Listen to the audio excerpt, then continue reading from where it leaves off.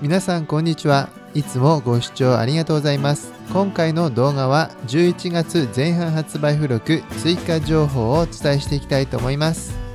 11月4日近藤里さんが真面目に作ったどんな服にも不思議と似合う魔法のバックブックが発売されます。構想約1年近藤里さんが丁寧に時間をかけて考えた素敵なトートバッグがついに登場いたします。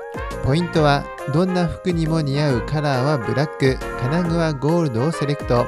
タイル状に整然と並ぶ凛としたキルティング生地を採用することでデニムから置物にまでコーディネートが可能になっております。軽さと持ちやすさにとことんこだわりビジネスシーンから子育てのお供まで誰がどこを持っても使いやすいと感じられる魔法のような仕上がりを実現しております。付属のポーチはストラップを付け替えればスマホショルダーにもなる優秀で上品なバッグとなっております。11月6日もっと自由に軽やかにこれだけでお出かけできる大人のための便利すぎるスマホショルダーを目指しました。ベージュバージョンとブラックバージョンが発売されます。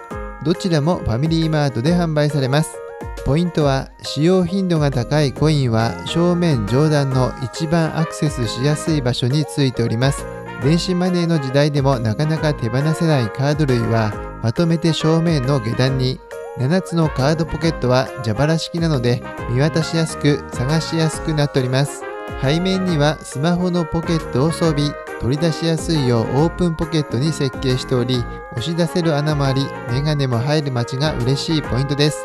メイン収納は仕切り付きでお薬手帳も余裕で入りますよ。お札はもちろんハンカチやちょっとしたコスメも入りこれだけでお出かけできちゃいます。さらには先端がナスカになっているキーチェーンも内蔵必要な時にすぐに出てきて別途キーケースを持ち歩く必要もないのが嬉しいですね。このスマホショルダー1つ持てばお出かけの準備もさっと済んで手ぶらで楽々。高級なレザー調生地の黒とベージュの2色展開。男女兼用で使えるシンプルかつスタイリッシュなデザインに仕上がっております。11月10日整理整頓できる仕切り付き23区超軽量キルティングトートバッグブックが発売されます。上質なものをリーズナブルに質の高いカジュアルウェアブランド23区は今年で30周年を迎え初のブランドブックが登場です。スペシャルアイテムは大人が使いやすい超軽量のキルティングトートバッグです。ポイントは表面は上品なキルティング模様。リッチなブランドロゴが型押しされております。たくさん入って自立する約11.5センチのたっぷり待ちです。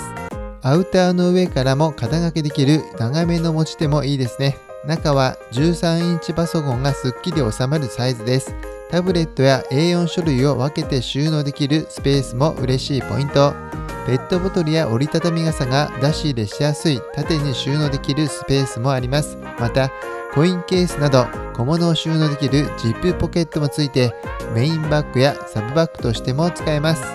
そして現在キッピス最大50%オフオータムフェアが開催中です。期間は10月23日から11月5日まで。概要欄にリンクを貼っておきますので詳細はそちらから確認してみてくださいね。いかがだったでしょうか？ここまで11月前半発売付録追加情報をお伝えしてまいりました。続々新作が登場してまいりますので気になった付録は早めにチェックしてください。それではまた次回お会いしましょう。さよなら。